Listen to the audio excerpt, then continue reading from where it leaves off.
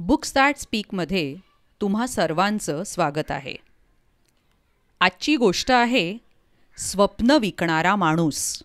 लेखक अशोक कोतवाल. गोष्टीचं वाचन असावरी दोषी. या गोष्टीसाठी मी आभार मानू इच्छिते. E initiative by Maharashtra state bureau of textbook production and curriculum research Pune. माणसाला स्वप्न बघता आली पाहिजेत. नुसतीच बघता आली पाहिजेत असं नाही हं? तर ती पूर्ण कशी होतील याचा विचार करता आला पाहिजे. असं आपणच नाही तर आपल्यापेक्षा श्रेष्ठ असे सगळेच लोक म्हणत असतात. आता स्वप्नही निर्माण करावी लागतात की ती उत्पन्न होतात हे आपल्याला माहीत नाही. स्वप्नांविषयी लोक काय काय बोलतात कुणी कुणी तर स्वप्नांना भलतंच तुच्छ लेखतात. भलती सलती स्वप्न पाहू नकोस असा सल्लाही देतात. रात्री झोपलो म्हणजे आपल्याला झोपेत जे दिसतं ते स्वप्न असतं आणि ते काही खरं नसतं असं आम्हाला माहीत झालं होतं. आमच्या लहानपणी कोण्या एका गावाकडून एक स्वप्न विकणारा माणूस घोड्यावर बसून आमच्या गावाकडे यायचा. त्याच्या घोड्याचा टबडाक टबडाक टबडाक असा आवाज आला की आम्ही आवाजाच्या दिशेने धावत जायचो. आमचं आकर्षण घोडा बघणं हे असायचं. पण घोड्यासोबत मिशीतल्या मिशीत हसणाऱ्या त्या माणसालाही बघणं व्हायचं.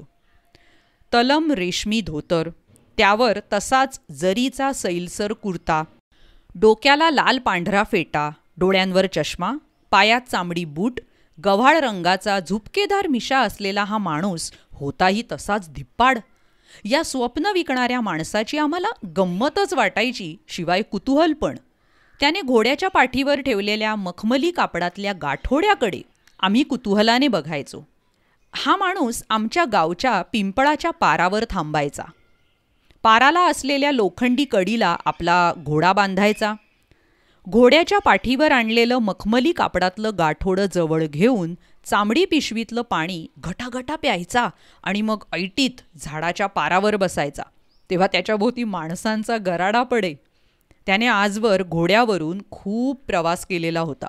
कित्येक प्रदेश पाहिले होते. कित्येक डोंगर दऱ्यात उडवल्या होत्या. भिन्न स्वभावांची आणि भिन्न संस्कृतींची माणसं पाहिली होती. त्यामुळे त्याच्याकडे बोलण्यासारखं खूप काही असायचं. त्याने अनुभवलेलं समृद्ध विश्व तो वेगवेगळ्या किश्यांनी रंगवून फुलवून सांगायचा. लोक त्याच्या गप्पांमध्ये स्वतःला विसरून जायचे. त्याचं ते भलतंच दिलखेच बडबडणं आणि स्वप्नात धुंद गुंगवणं लोकांना भारी आवडायचं. ऐकताना लोकांची मती कुंठित व्हायची.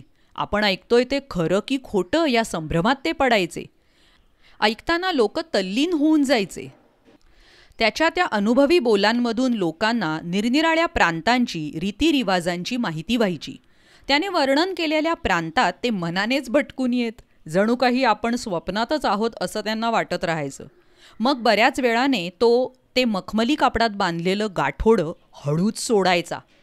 त्यात काजू बदाम किसमिस वेलदोडे सुपारी खारी खोबरं असं सगळं असायचं.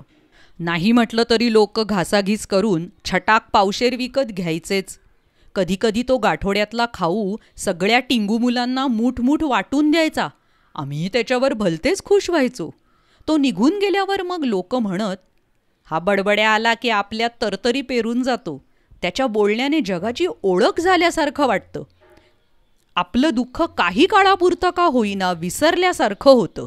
गोड गोड बोलून तो जसं त्याचं स्वप्नच आपल्या डोळ्यात उतरवून जातो. पुढे मग लोक त्याला सपनविक्याच म्हणू लागले. त्यालाही त्याचं काहीच वाटेना. तोही मग गमतीने सपन घ्या सपन. असं म्हणतच गावात शिरायचा आणि लोकांना रिझवून सुकामेवा विकायचा. काय झालं कळलंच नाही पण अचानकच सपन विक्या गावात यायचा बंदच झाला. आम्ही रोज त्याची आतुरतेने वाट पाहायचो पण तो यायचाच नाही. कधीतरी त्याचा विषय निघायचा आणि गावातले सगळे लोक त्याच्याविषयी भरभरून बोलायचे. महिने वर्ष उलटून गेली. एके दिवशी अचानक एक तरुण गावात आला. गावातल्या पारावर बसला. गावातील पारावर बसलेले लोक त्याच्याकडे टकामका पाहू लागले. तो तरुण सपनविक्यासारखाच दिसत होता. तोच चेहरा तीच अंगकाठी जणू सपनविक्याच गावात आला होता. आम्ही सगळी मुलं पाराजवळ जमलो आमच्या गावातल्या सगळ्यात वृद्ध तात्यांनी त्याला विचारलं. कोण रे बाबा तू? कुठून आलास? तो म्हणाला मी तुमच्या सपनविक्याचा मुलगा. गुडघेदुखीच्या त्रासामुळे बाबा बऱ्याच वर्षांपासून गावोगावी जाऊ शकत नाहीत. पण खरं सांगू का? गावात जाणं तिथल्या लोकांना एकत्र जमवणं त्यांच्याशी बोलण्यासाठी सुकामेवा विकणं हे केवळ बाबांचं एक निमित्त होतं. त्यातून त्यांना खूप आनंद मिळत असे. आपले अनुभव आपल्याजवळचं ज्ञान इतरांना सांगावं दुसऱ्यांना आनंद द्यावा असं माझ्या वडिलांचं स्वप्न होतं. लोकांची सेवा करण्याचा त्यांचा हा मार्ग मला खूप खूप आवडला. नुकतंच माझं वैद्यकीय शिक्षण पूर्ण झालंय. गावोगावी जाऊन वृद्ध आजारी लोकांची सेवा करायची असं मी मनोमन ठरवलंय. बाबांचं हे स्वप्न पूर्ण करण्यासाठीच मी तुमच्या गावात आलोय. त्याचा आवाज बोलण्याची ढब हसणं आम्हाला सपनविक्याची तीव्र आठवण देऊन गेलो. आम्ही सगळे गहिवरून गेलो.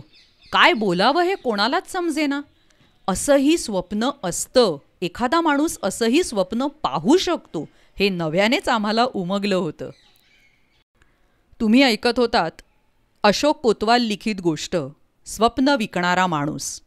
गोष्टीचं वाचन असावरी दोषी. बुक्स दॅट स्पीकवर धन्यवाद.